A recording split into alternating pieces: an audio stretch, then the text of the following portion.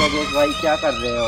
अरे कपिल भाई अंगूर खा रहा हूँ थोड़ी बाइकिंग चल रही है। लो आप भी खा दो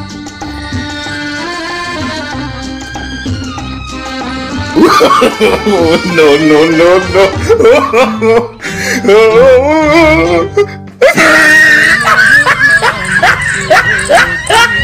खट्टे